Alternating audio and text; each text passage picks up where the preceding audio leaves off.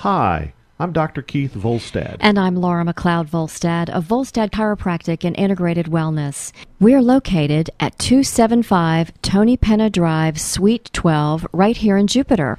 And our telephone number is 746 4242. We'd like to welcome you to this week's edition of the Chiropractic Corner, a weekly show spotlighting the chiropractic profession and what doctors of chiropractic do to improve their patients' health. In this program, Dr. Volstad and I plan to cover topics that pertain to your health from a complementary and alternative medicine point of view.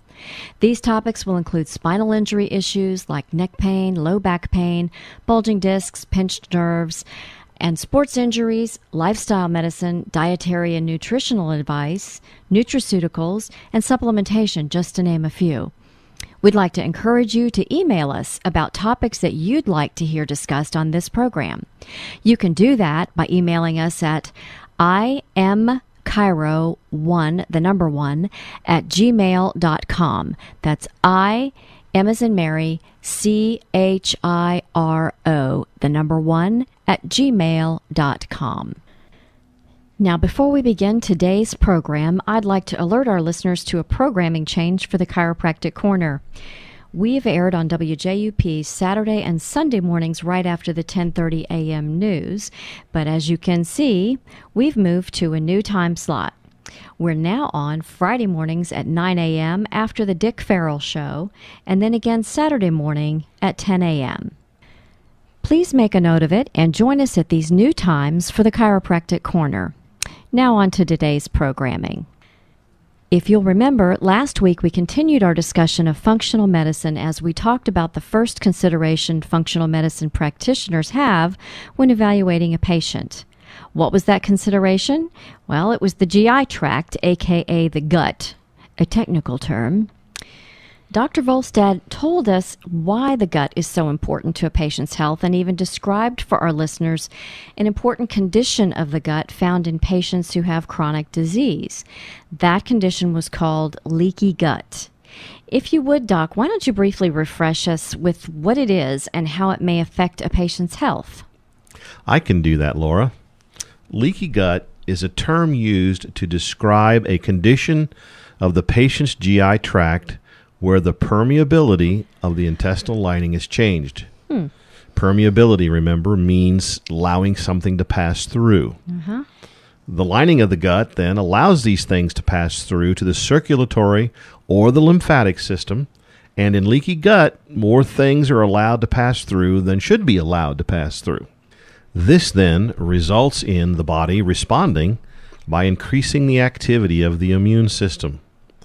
When this upregulating of the immune system becomes chronic, the result then can be a chronic inflammatory response. And it's this chronic inflammatory response that may be involved in the development of chronic disease so many people are suffering from. You know, diseases like multiple sclerosis, lupus, rheumatoid arthritis, and Sjogren's disease, just to name a few.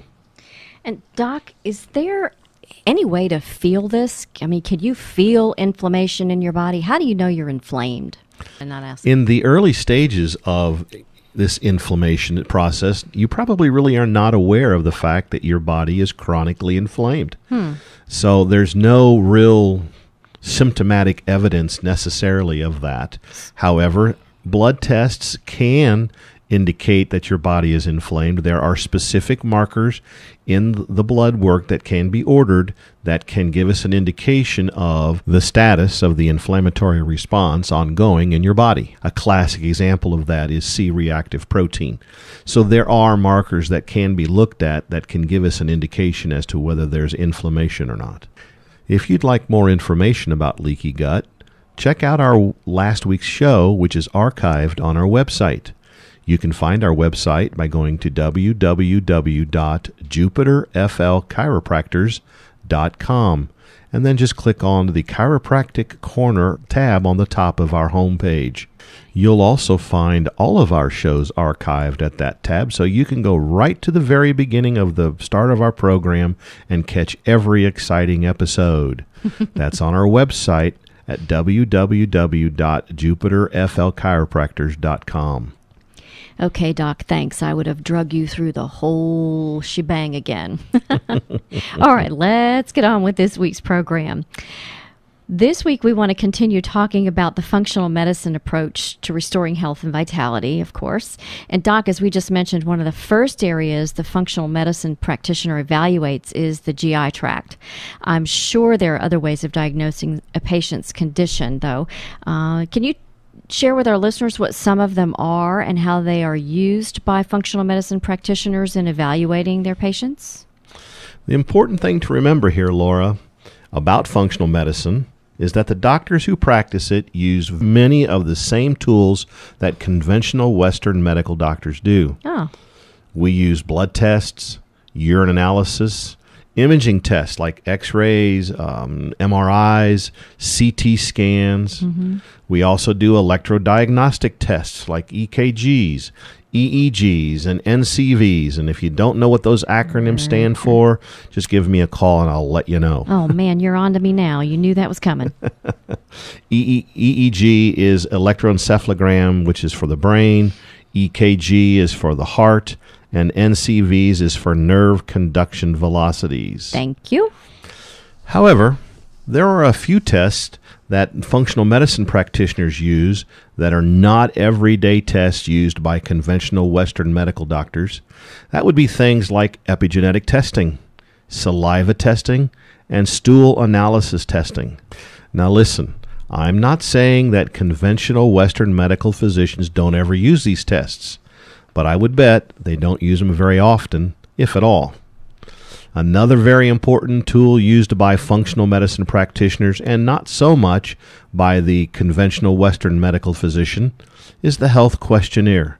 So let's start with that. Okay, but I thought most all physicians used a history type of questionnaire. They don't? I thought it was a. Is it a standardized Yep, it is questionnaire? SOP, Standard Operating, Operating Procedure. And truthfully, I'm sure they used they use some type of history questionnaire, but the health history questionnaire used by functional medicine practitioners is very, and I do mean very, detailed. Oh, it's not a standardized questionnaire that all pr- practitioners use? No, it's a little bit more of a detailed questionnaire. Oh. For example, Laura, the one I use in the office is 18 pages long. And you might ask, Ah, yeah. why so long? And the answer is really, really simple. Functional medicine practitioners want a very detailed history of your health so as to be able to have all that necessary information available to make a correct clinical decision. There will be questions about your health history, your social history, your traveling history, um, your dietary history, just to name a few. And then there will be a checklist, kind of like the uh, conventional Western medical physicians use, where you can inform us of all of the symptoms and previous health conditions you've had. Wow, sounds like uh, like the doctor wants your life history and then some. Are we supposed to bring in the photo albums from our trip to Europe? I get, yeah, you're absolutely right. They want everything about your life's history that you can remember. Wow. Okay. What about blood tests? I'm sure everyone listening has had a blood test. Are the tests you need as a functional medicine practitioner different? And if if so, how so? Well, the blood tests that I use are really very similar. The usual chemistries, the CBC with differential, these are commonplace. I think both uh, conventional Western medical physicians and functional medical practitioners uh, use those things. Uh, I think one of the main differences that someone may notice is the increased complexity of the blood tests orders, ordered by a functional medicine practitioner.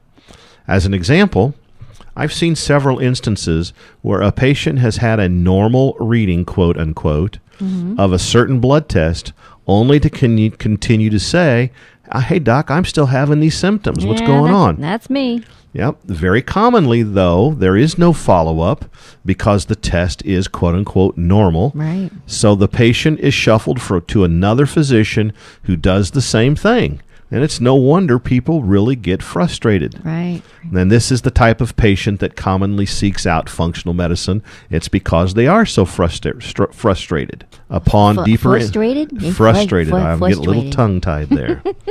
Upon deeper investigation, though, It's the functional medicine practitioner that discovers that the patient had issues all along, but weren't discovered because the initial blood test was within normal parameters and no one thought it necessary to investigate more deeply. Isn't that a little misleading then? I know you know this has happened to me. You go in and all your um, indicators are within the normal range, but you know something's just not right, and it's like, well, sorry, it's all says normal. That's a lot of times the largest source of frustration that I've had patients say to me when they come in seeking answers is, you know, doc, all my blood tests are coming back normal. I guess my response to that would be, well, then I think maybe a little bit deeper of an investigation would be required. Let's see what other blood tests that could be potentially related I have to say. And very commonly, that's where you can possibly find uh, something that that's that's reared its ugly head, and you can then use that to treat the patient. See, that's the thing that I think kind of threw me a little bit because I thought when those tests were run that that was the definitive test. There were no other tests to be run. A blood test is a blood test, but as I'm learning uh, you know the panels are different. The things that you order you know can be different. And you know i thought i was getting a you know complete workup and excited because okay great. Now we're going to figure out this thing. And well, that didn't happen. that is an interesting comment. And i think what you have explained or expressed is a very common frustration that patients have. I also think that physicians get frustrated as well any physician who's worth their salt cares about their patient. And when the patient still has a problem, even though all the tests are coming back normal, I think that creates frustration for the physician as well. All right, moving on. What about uh, urinalysis? Well, that's another test that I did mention before. And mm-hmm. I think the urinalysis is one of the most overlooked tests available today. Why? Well, many, many situations can be discovered or made more clear by a urine test. Well, yeah. The key is to know what to look for. Certainly, the common tests like protein, blood in the urine, white blood cells in the urine, etc., are done by most all physicians. Mm-hmm. However, functional medicine practitioners will also use the urine test to look for hormonal issues, for example, or neurotransmitter issues, bone density issues, and there are others. These urine tests are specialty tests that most all laboratories do, and they are readily available through the functional medicine practitioner. The urine tests is a very useful tool, and it's probably undervalued in the treatment of chronic disease conditions. Who would have thought so much information could be gathered by just a urine test?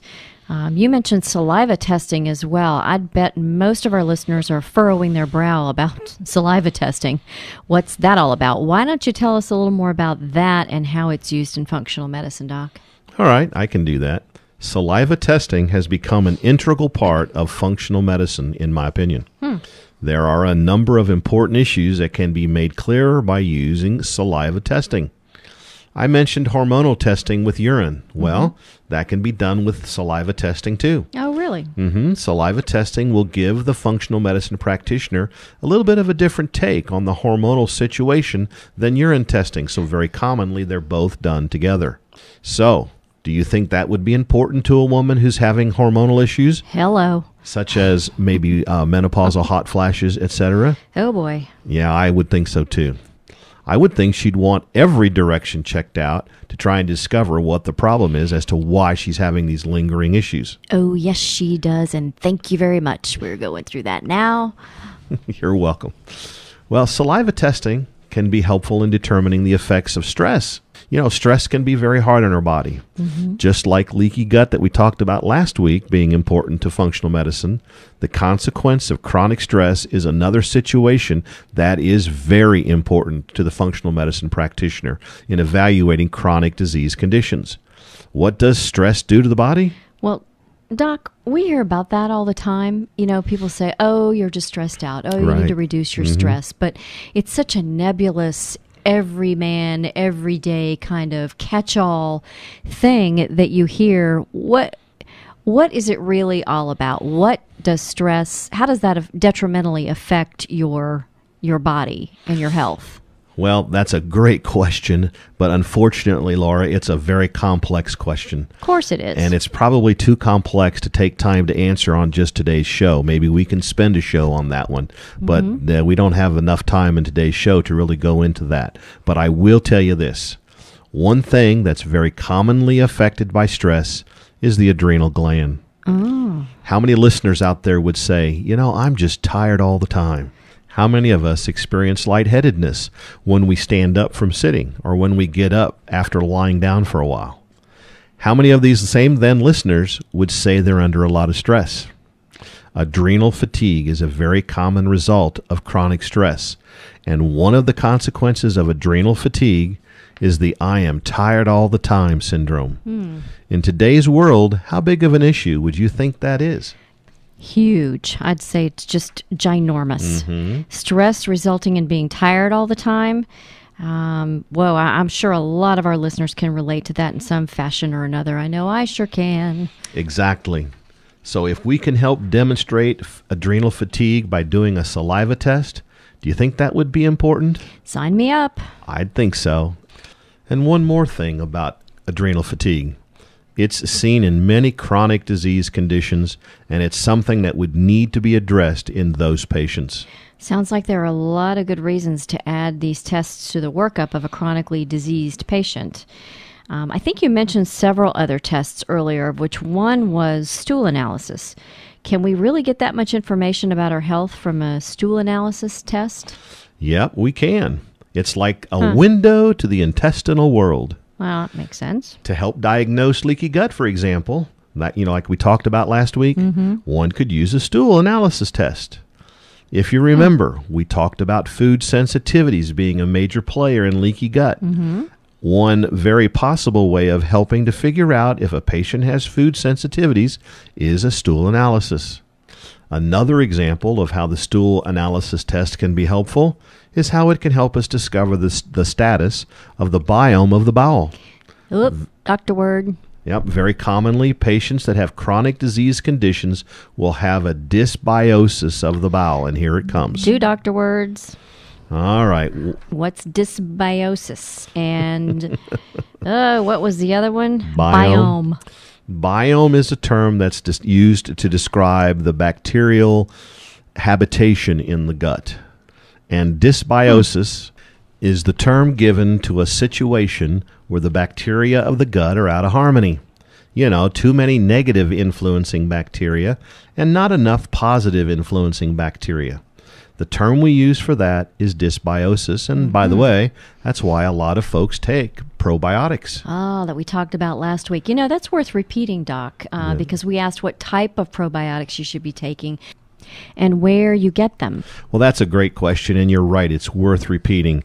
Lactobacillus, um, Saccharomyces, um, to name a couple of them, and you can get them in yogurt, and you can get them in pill and capsule form uh, at a at a health food store, and they're very important to be taking as a preventative measure. You don't want to wait until you have a problem and then oh, I guess I should be taking some probiotic. You can take them as a preventative measure to help your body keep this type of thing from occurring. Now let's get back to the discussion that uh, about testing that some functional medicine practitioners use, namely you, of course. Can do, can do. Just finishing up on the stool test. The stool test would be very important for a patient who has a parasite infestation or a fungal infection like yeast. Hmm. I think our listeners would be amazed at the number of people who have one or more of these types of infections. So, how stirred up is the immune system? This is another finding the stool test can aid in establishing. You had asked me about this earlier. Mm-hmm. How do we know if our body is inflamed? Right. Well, the stool analysis test can help us identify that circumstance. There are markers that can be found in the stool test that can help the functional medicine practitioner determine the level of the chronic inflammation in the body. You also mentioned epigenetic testing as a tool that functional medicine practitioners use, and there's another doctor speak word. Can you give us a brief description of what that is? And remember, Doc, we're getting close to the end here, so brevity is our friend. Okay, Laura, I get it. I get it. Now I'll be brief. Epigenetic testing is a cutting edge technology that takes advantage of the fact that the human genome has been completely mapped out. I think it was completed hmm. in the year 2000. Wow. In this test, Really recent. the functional medicine practitioner is looking for variants or mutations in the genetic code of the patient. Coupling these results of the epigenetic testing with the results of the other tests performed, you know, like saliva testing, mm-hmm. stool analysis test, blood test, etc., the functional medicine practitioner can determine if part of the problem in the patient's condition is genetically influenced. And if so, this genetic testing can then direct the doctor as to what treatment would be beneficial. Epigenetic testing is relatively new, so not all the variants or mutations have been investigated. But of the ones that have been, there is one very interesting vari- variant that I'd like to briefly mention. It seems that it's associated with autism. How much is autism exploding in our world today? Uh, it's just giant. Further research has shown that in some of these cases, these patients may be helped with some relatively simple nutritional interventions. Really? Mm hmm They have this specific genetic variant, and they've seen that then these simple nutritional interventions have, in some cases, helped these patients with the autism. And this demonstrates how exciting and how potentially beneficial functional medicine may be in the health of our world. Wow. Who wouldn't do that? Yeah, it's interesting to note. that's exciting. Stuart. Kendall, MD, is uh, a big pioneer in this work, and you can find his work online. Just Google his name. Wow, that's again, that's that is super exciting. The friends, if you think functional medicine might be an answer for your situation, we're here to help you. Remember, our address is 275 Tony Penna Drive, Suite 12, and our telephone number is 746 4242. Another programming reminder as I mentioned earlier on in our program, the times our show will air have changed. We have moved to 9 a.m. on Friday morning and 10 a.m. Saturday mornings. So please make a note of that change. Well, that wraps up another edition of the Chiropractic Corner Doc. Any last words before we give our tip of the week? Yep, there is, Laura. Like I said, chronic disease is a food and lifestyle driven situation that is influenced by environmental and genetic circumstances. New and different diagnostic approaches are required, like delving deeper into blood tests and utilizing saliva testing and urine and stool analysis, and then that new kid on the block, epigenetic testing. This new approach is utilized by our office and by other functional medicine practitioners' offices for the evaluation and management and treatment of chronic disease conditions.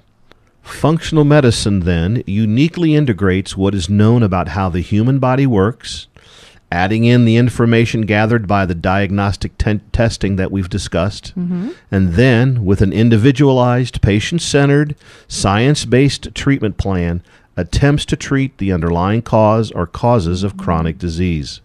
Functional medicine is indeed a healthcare system appropriate for the challenges of the 21st century.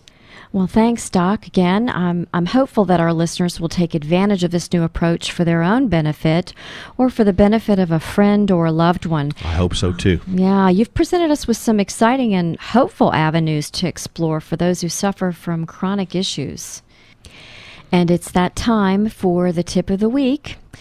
You know, here in South Florida, we see coconuts everywhere. Who doesn't love a coconut palm? It is the quintessential sign that you have reached the tropics. But did you know that virgin coconut oil has many helpful uses? I didn't know that. Well, Of course, I knew that. I'm the doctor. well, we're going to share a few of those with our listeners because Good, it's good. a huge list. I believe I learned in one of my horticulture classes from uh, Dr. George Rogers, who's the director of the horticulture department at Palm Beach State College. He shared with us one time that um, coconut trees have more than 160 different economic uses. It's That's amazing. more than any other tree just about on the planet. That's amazing. Uh, very interesting. And we are so lucky to have them down here right in our own backyards, literally. But here are just a few of the things that you can use coconut oil for. It's been used as a moisturizer. You know, uh, we've been told never to put anything on your skin you wouldn't eat. That's a good one to use. Uh, it's been used as a, you can use it as a hair conditioner, um, as an aluminum free deodorant, and uh, we can tell you that that really works. Right, Doc? Mm-hmm. And, um, Use it as an aftershave. even. Yeah, I imagine that coconut oil would feel very good on a newly shaved face. Yes, and newly shaved arms as well. It feels really nice. And use it as a sunscreen and with bug bites. It's been shown to be helpful in treating migraine headaches, fungal infections, gallbladder pain, menstrual pain and cramping, asthma, as well as supporting a strong immune system. We've even been told you should um, maybe cook with it, you know, uh, saute your, you know, It can certainly be used as an alternative to cooking oil, Mm-hmm. uh, as it is much more healthy for you than uh, Mm-hmm. vegetable oil and even olive oil for that matter. Mhm. We read a little bit last week also about maybe some weight loss benefits Yep, of it has to oil. do with the type of fat that's in coconut oil. Right. It did get a bad rap there for a while, but new research has shown that it actually is a very good fat and would help you lose weight if used properly. You know, think about adding that to your diet. So the next time you see coconuts lying around, remember the healthful uses that coconut oil can offer you. Ah, well, that about wraps it up for another edition of the Chiropractic Corner. Uh, again, thank you for joining us and for all of your all of your input. Dr. Volstad and I would like to thank you for listening, and don't forget to let us know what questions you may have for Doc or topics you'd like to learn more about by emailing us at I am as in Mary, C H I R O, the number one, at gmail.com. We're located at 275 Tony Penna Drive, Suite 12, right here in Jupiter. And our telephone number is 746 4242. We'd love to hear from you. Google Volstad Chiropractic to find our website for more information about our office or to listen to archived programs from the Chiropractic Corner. And coming soon, our show bloopers. For those on Facebook, please search and find our Facebook page and give us a like. We post a lot of information about healthcare and natural remedies that you can use at home.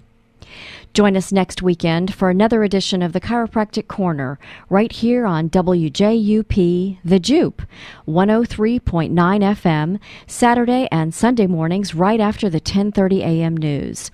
Until then, be well, live well. We'll see you next week.